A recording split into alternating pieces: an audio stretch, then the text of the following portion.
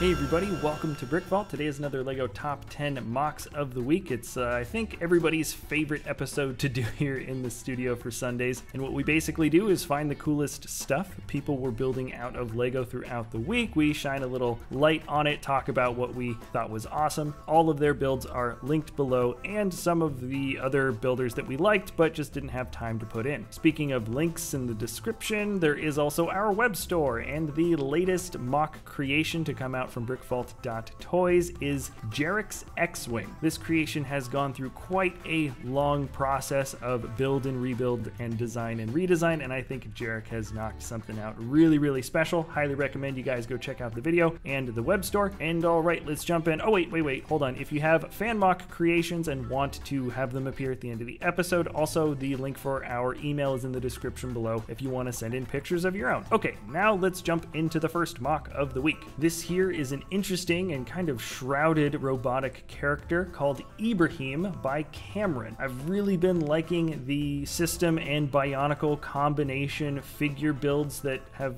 I don't know. I think they've been going on for a while within the LEGO community, but I personally have just been getting drawn to them quite a lot in the last several weeks or months. A very expressive, interesting character. Highly recommend you check out more of his figures in his Flickr. And this build is very, very, very impressive. It's just called Grapes, as you might imagine, and it's by Josephine Monterosso. I don't know if there's uh, legal connections or something weird going on inside that jumble of grapes, but frankly, I don't really care. Or I might care a little bit. But honestly, this is probably one of the better fruit or food uh, micro builds that you'll ever see. In fact, most people upon first glance might not guess that it's Lego. Honestly though, this builder was a first time discover for me. Everything she's got up in her Flickr I absolutely love. Really great Brickheadz figures and awesome uh, figures. Just really expressive characters and shot well with a nice eye for perspective. So I highly recommend you check out her Flickr. This was a new discover for me. The third build up for this video is Cyberpunk 2046 Shells of Society. That's the title and it's from the builder LegoFin. Maybe I've just got a soft spot having just watched the Cyberpunk 77 trailer, or no, this is actually just a really good build. You can see that we're living in a sort of a war-torn place, or perhaps there was a war long ago. The building is destroyed, some of the levels have been knocked out, and people have taken up residence with a very sort of post-apocalyptic and somewhat flamboyant futuristic style. The inclusion of the hotel sign broken down is awesome. Anyways, really fun MOC. This is the Hogwarts Hogwarts Express, if you couldn't tell. It's a micro build and coming out at a pretty appropriate time, I would say, because it does look like this could scale really, really well next to the Hogwarts, the giant Hogwarts Castle micro set that just came out. It's a new approach for micro smoke coming out of the stack at the top, which I like. And if you haven't seen David Zambito's Flickr yet, you are just plain old missing out. Let's move on to the next build. This is a new builder also that I just discovered, thropots. And there was just something really simple and fun I liked about the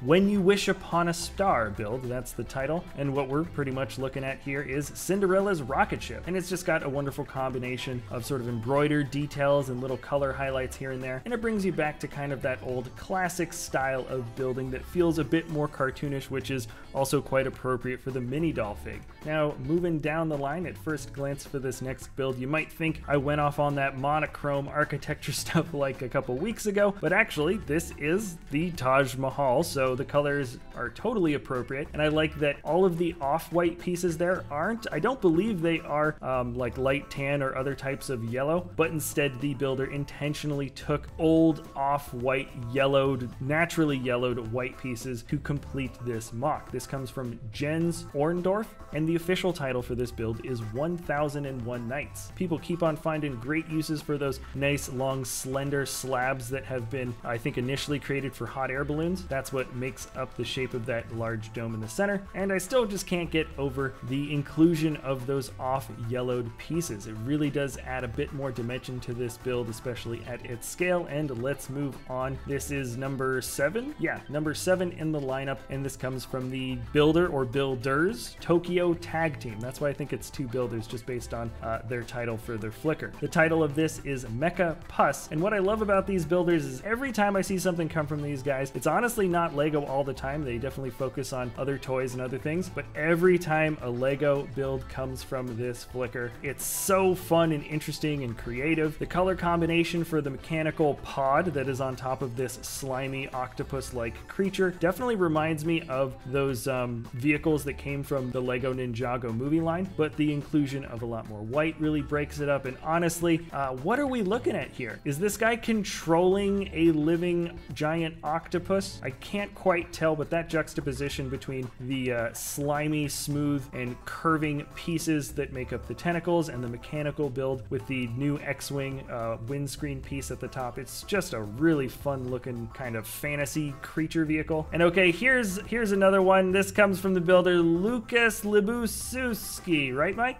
Łukasz Libuszewski, yeah, yeah, that's correct, Jack. Okay, yeah, see, I got it. I was totally right. Uh, it's called Victorian Street, and what really grabbed my eye here is that this is probably uh, one of the stronger color palettes that I've seen for a combination of buildings. They're somewhat scrammed together, and that yellow building is nice and flamboyant, but doesn't throw off the whole look of this composition because it's evened out with a lot of uh, olive green and nougat. And hold on, I'm cutting myself off, but it's also worth checking out the original concept art that also came from this same designer. He drew it out, I think, first and then modeled the building after the initial drawing. It's absolutely amazing. The only thing I'm going to point out here as a bit of detailing that I absolutely love is the wall made up of alternating colors of those plate modifieds with the door rail sticking out the edge. That's the first time I've seen that particular detail employed for just kind of making a cool looking wall decoration, and it absolutely works for this build. Let's move on to a first time builder that I've never seen before until today, and what we have here is a Lego Humvee, 10 stud wides. That's the title of the build. Easy, simple, but the build doesn't look anything uh, near easy and simple. Coming from the designer Manuel Cara, he took a Lego build that has been done a million times before the Humvee, but he built it at just a slightly higher scale and added an absolute megaton uh, more details and just more accurate lines that shape out this Humvee. Personally, I'd say my favorite bits of shaping for this model are the uh, wheel wells for the back wheels, as well as the approach on the doors, the way they open up. And who am I kidding? There's actually a lot to love about this design, and I highly recommend you check out his Flickr if you want to see even more slightly upscaled above minifig scale with exponentially more detail. Now, I have seen in the comment section before before, some people like to rag on me or